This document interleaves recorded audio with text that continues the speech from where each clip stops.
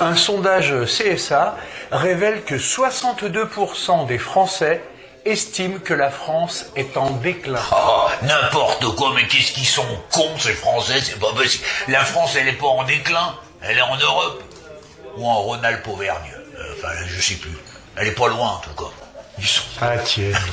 Ils sont cons à bouffer de la paille, ces pauvres Français. Oh, oh. Oh, dis donc, t'as vu comme il est beau ce bateau? Regarde ça. Oh, c'est pas un bateau, ça c'est un yacht. Ah bon? Ouais. Et tu l'écris comment, toi, yacht? Euh, fais voir? Ah ouais, si, si, c'est un bateau, j'avais mal vu. Elle tienne? Tienne.